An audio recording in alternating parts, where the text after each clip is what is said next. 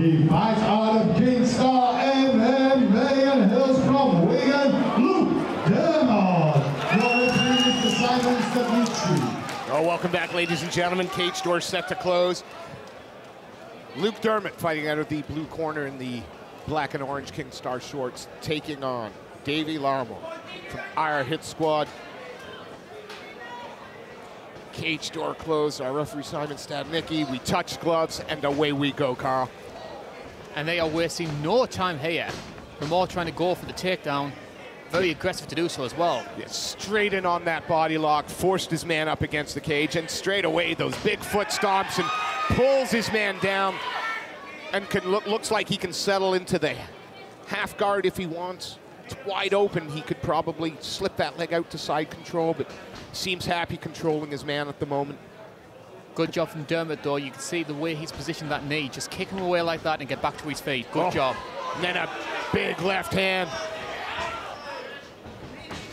Larmour, though, pushing forward constantly. Knees up the middle.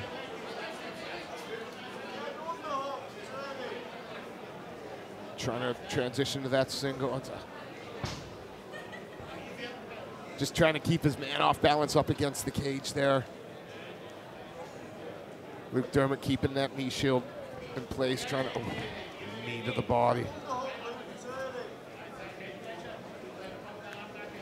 Got to be careful not to give up his back here. You've got to feel, got, got the feeling that that's what Larmour was looking for there. Try to sweep around to the back. But again, happy to uh, happy to embrace the grind and the clinch work here. Good head positioning from the hit squad man. Oh, guillotine.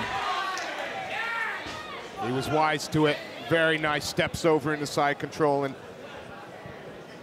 I, my favorite technique that I think is completely underused is the knee to the body here. Yes. And, and it, force your man up against the cage. Start softening them up with some big knees to the body, especially from side control.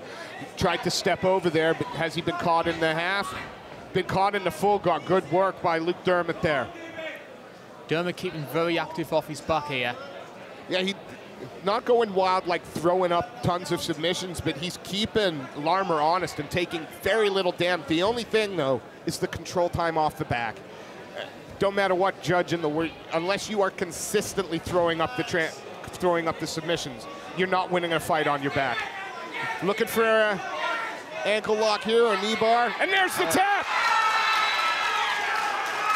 Little bit of everything on display there from the Iron Hit Squad fighter. And of course, an amateur, there's no heel hooks, there's no wonderful submission there. David Larmour shows a little bit of everything, and Luke Dermott shows a great fight IQ up until he got caught. It was a very good performance from both men there. Larmour especially, I think he deserved the win as well. I think he was dictating most of the pace in that first round. Uh, very persistent with the pressure game.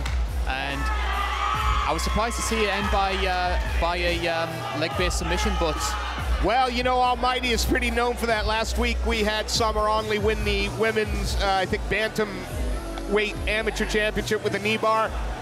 We get another one today, so the leg finishers come fast and furious at Almighty Fighting Championships. Ladies and gentlemen, we'll give a quick shout out to Eric's Fight Gear, Feel Supreme, and CH Productions. Let's turn it over to Mr. Khan to make it official.